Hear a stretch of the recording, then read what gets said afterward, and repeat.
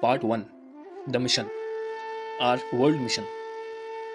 Many people in our country hold the view that any venture that we undertake should be based on a grand world thought capable of rendering good to the whole of humanity, eschewing all narrow limitations of the country, community, or religion. In support of this view, some proclaim that in this age of missiles and rockets, distance has vanished, boundaries of countries have become meaningless, and the whole world has shrunk.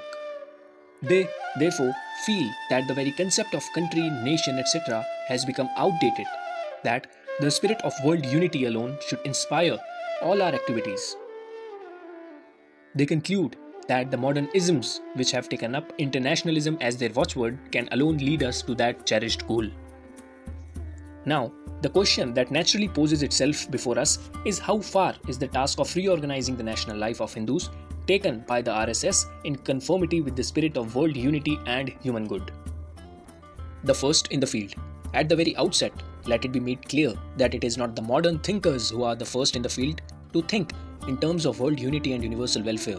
Long, long ago, in fact, long before the so called modern age had set in, the seers and servants of this land had delved deep into this vital question the ideal of human unity, of a world free from all traces of conflict and misery, has stirred our hearts since time immemorial.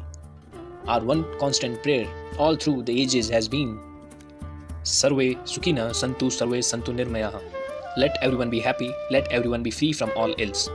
While the present day West has not been able to go beyond the motto of the greatest good of the greatest number, we have never tolerated the idea of a single human being. Why? Of even a single living organism being miserable. Total good of all beings has always been our glorious ideal. The two sides. But coming to the plane of the present day world, we are faced with the hard reality of the all round discord and disruption ravaging human society. Today, humanity is divided and subdivided into so many small exclusive groups called nations or states, each one of them devoted to its own narrow self interest. And it is a matter of common experience that wherever there are groups inspired only by self interest, there is bound to be mutual conflict. Obviously, human unity and welfare is impossible so long as this type of conflict continues. The present state of strifes and wars resulting in human destruction and misery has led many thinkers to conclude that the sentiment of nationalism, which nourishes exclusive self interest, is the major obstacle in the way of world unity and human welfare. They, therefore, declare that nationalism should be rooted out from the minds of men all over the world. The communist ideology, which claims internationalism as its sheet anchor, often talks in this strain. On the other hand, there is another school of thought which holds that the roots of nationalism are so deep and long standing that it is impossible to destroy them.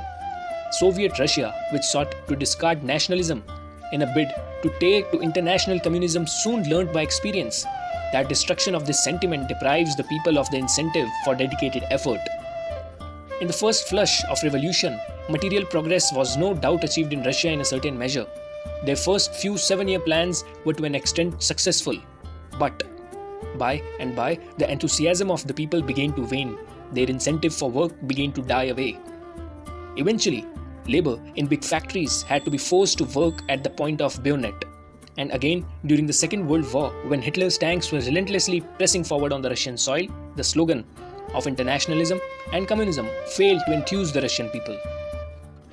This served as an eye opener to the Russian leaders who found it absolutely essential to rouse the dormant patriotic sentiments of the Russian people by invoking their age old loyalty to motherland and their heroic ancestors. It is evident, therefore, that it is devotion to one's motherland, society, and tradition, experienced under the concept of nation, that inspires the spirit of real service and sacrifice in the individual. The abortive experiments. We can thus conclude that nationalism cannot and should not be destroyed. Then the problem boils down to one of achieving a synthesis of national aspirations and world welfare. Synthesis of various kinds have been, in fact, attempted from time to time in the past. Imperialism has sometimes been claimed to be one such large scale effort to eliminate conflicts between smaller nations by making them limbs of a single empire. But as it was basically motivated by self aggrandizement, leading to revolts by the subject nations against their oppression and exploitation, imperialism failed to eliminate international conflicts. The League of Nations, formed after the First World War, was also an experiment in avoiding wars and achieving world unity. But within just two decades of its birth, the League of Nations was shattered to pieces on the rock of unbridled national ambitions and consequent conflicts. A more terrible war than all the previous ones besmirched the face of the earth with death and destruction. The UNO too, formed after the Second World War, is faring no better.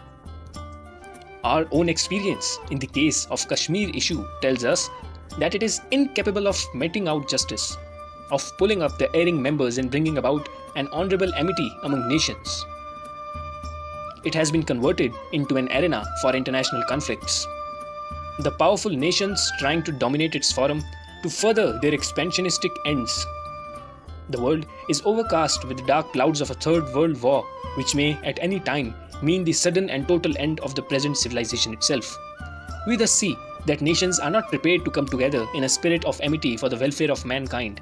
On the contrary, the national entities are getting more and more exclusive and their ambitions whetted day by day. Newer nations are also coming up on the world stage. The entire face of the world is covered with conflicts between nations. In short, nationalism cannot be destroyed.